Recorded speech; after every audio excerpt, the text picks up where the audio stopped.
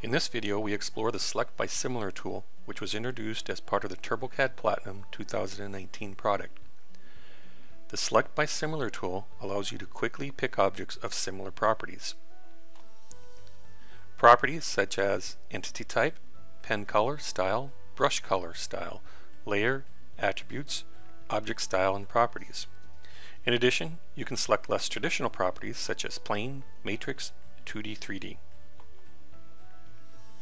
The Select by Similar tool is located in the Edit, Select By, Similar option. Note that if nothing is selected, the Similar option is disabled. Let's demonstrate this tool with an example file using a variety of different properties. Our first example will select all the objects in the same layer. So let's select an entity in the desired layer, then select Edit, select By, Similar, and we'll pick our property and click OK. Note all objects in that layer are now selected.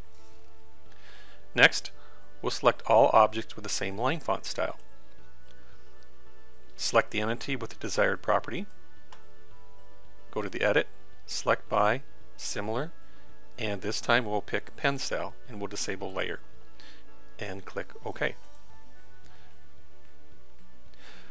Note that by default, the Similar Options dialog box displays each time you enter the command. You can change this behavior by disabling the Show This dialog before Select option.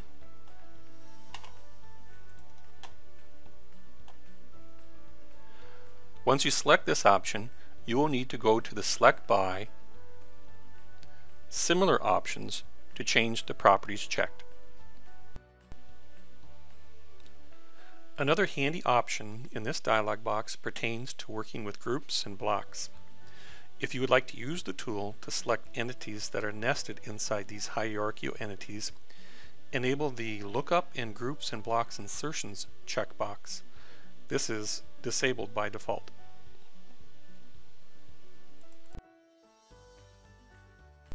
Thanks for watching. For more information, come visit us at www.turbocad.com.